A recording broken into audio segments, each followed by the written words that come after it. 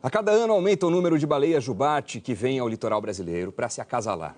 E elas já podem ser vistas bem perto das praias do litoral baiano. É um espetáculo, como mostra o repórter Mauro Anchieta. É uma viagem rápida. Da região portuária de Salvador, são 30 minutos de lancha em mar aberto até o local onde elas podem ser vistas, bem em frente à cidade.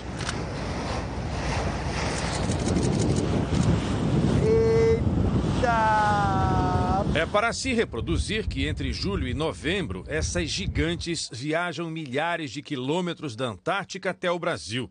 Os sons desse namoro são estudados pelo pessoal do projeto Baleia Jubarte, uma ONG que se dedica à preservação da espécie.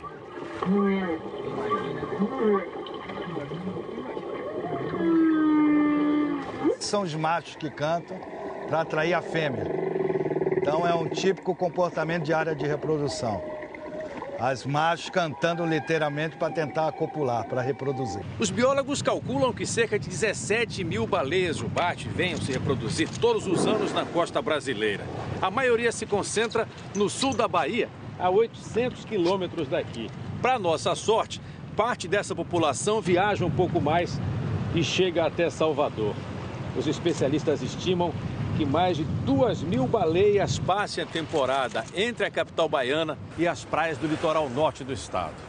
O litoral norte da Bahia tem essa característica que é muito perto da costa, é muito fundo.